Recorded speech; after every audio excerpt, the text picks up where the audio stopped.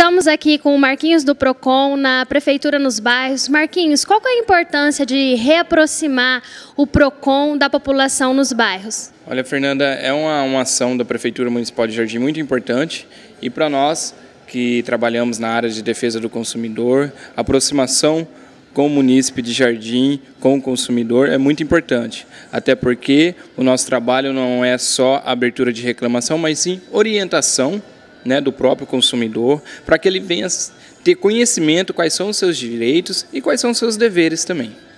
Fala um pouquinho do material aqui que você trouxe para a gente. O que, que esse material serve para a nossa população? Qual o auxílio que eles dão para a gente aqui nesse evento que nós temos hoje, que é a Prefeitura nos Bairros?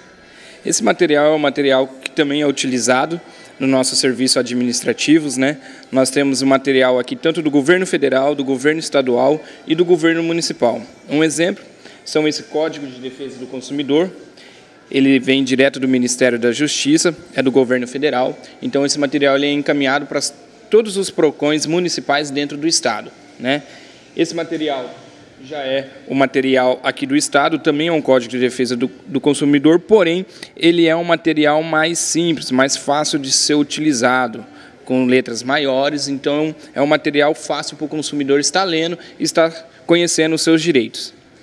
Essa é uma cartilha, uma campanha que nós fizemos aqui no município, que foi a campanha de olho na, na, validade. Nós fizemos uma campanha dia 21 de novembro do ano passado. Esse ano também nós vamos estar fazendo na mesma data essa campanha. E dentro dessa cartilha vai o que é o PROCON e algumas dicas para o consumidor, como troca de produto, venda enganosa, direitos e deveres. Né? Então nós temos material do governo federal, do governo estadual e do governo municipal.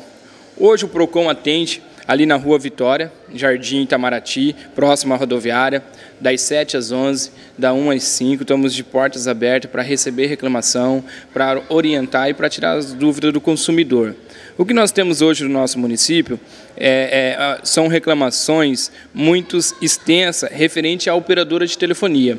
Né? Então, nesse mês de março é um mês muito importante que também está tendo no nosso estado, não só em Jardim, o mutirão que é o mutirão das operadoras. Oi, TIM, Vive, Claro. Então, até o dia 30 de março, o consumidor pode se deslocar. Se você tem alguma reclamação referente Oi e TIM, pode estar indo no, direto no correio fazendo essa reclamação direto lá com as operadoras da Vivo, a loja próxima à farmácia Santo Antônio, que é uma loja específica da Vivo, e da Claro do lado do Mercado São José. Então eles vão estar acolhendo a sua reclamação, gerando um protocolo, se for uma reclamação que seja resolvida na hora, será resolvido, e se não, será dado um prazo de 3 a 5 dias para resolver. Não resolvendo, o consumidor pode procurar direto o PROCON, que a gente vai estar abrindo a reclamação e marcando a audiência. É muito importante, quando o consumidor procurar o PROCON, ele vai munido dos seus documentos pessoais, da nota fiscal, que é um documento muito importante para o consumidor, é a base, é a chave da reclamação dele, é onde ele se resguarda para estar abrindo a reclamação, para estar trocando o seu produto, para estar mandando esse produto para a garantia. Então é muito importante que ele já vá no PROCON com esses documentos. E ali a gente vai dar, fazer todo o procedimento que cabe ao PROCON. Muito obrigada, Marquinhos. Prefeitura nos bairros, aproximando você do PROCON.